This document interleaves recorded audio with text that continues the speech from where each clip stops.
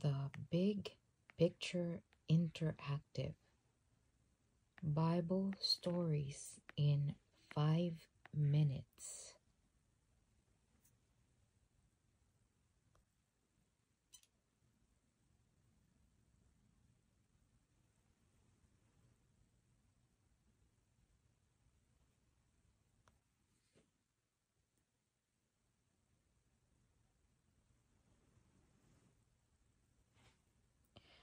The Big Picture Interactive Bible Stories in 5 Minutes.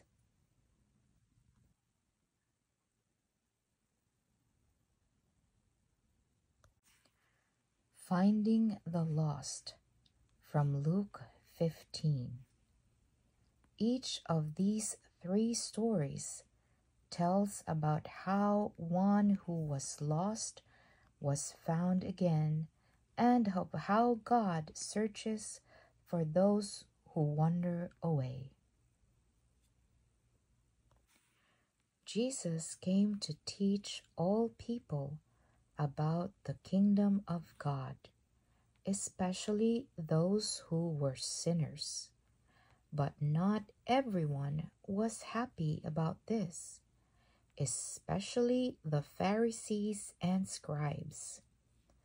One day, the Pharisees and the scribes were grumbling about Jesus.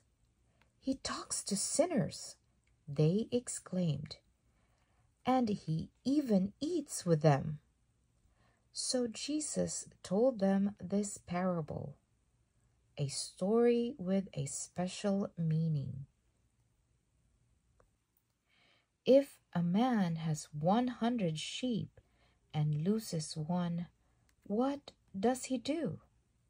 He leaves the 99 to search for the lost one. When he finds it, he puts it on his shoulders and happily carries it home. Then he calls out to all his friends and neighbors Come and celebrate with me.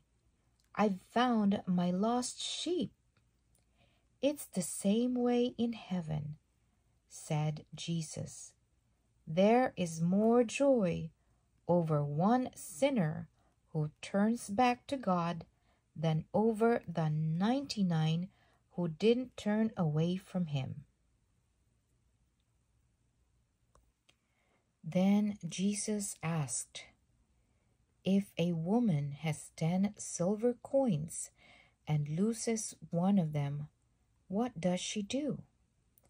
She lights a lamp, sweeps out the whole house, and searches everywhere until she finds it. And when she does find it, she calls all her friends and neighbors together and say, Be happy for me. I've found my lost coin. In the same way, Jesus said to the Pharisees and scribes, The angels in heaven celebrate over one sinner who turns back to God. Jesus then told them this parable about a father and his two sons. A man had two sons. One day, the younger son said to his father, Father, give me my share of your fortune now. This made the father very sad, but he gave the son his share of the family's fortune. Just a few days later, the younger son gathered up all his belongings and left. He traveled to a far-away country where he wasted all his money on foolish living. After the younger son had spent all his money, a terrible famine struck that land. He had no money and no food and no friends. He had to go to work in the fields feeding pigs. He was so hungry that he longed to eat the pigs' food, but no one would even give him any of that. One day the son said to himself, I am dying of hunger, but even my father's servants have more than enough food to eat. I'll go back to my father and say to him, Father, I have sinned against you and against heaven. I'm not worthy to be called your son. Just let me be like one of your servants.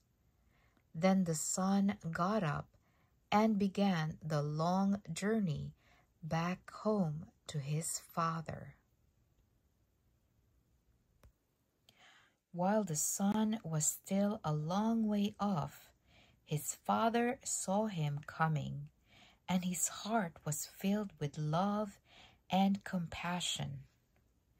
The father ran to him, threw his arms around his neck, and kissed him. Father, the son said, I have sinned against you and against heaven. I'm not even worthy to be called your son. But his father called to his servants and said, Quick, Bring out the best robe and put it on my son. Bring a ring for his finger and sandals for his feet. Then kill the fattened calf, and let's have a great feast to celebrate.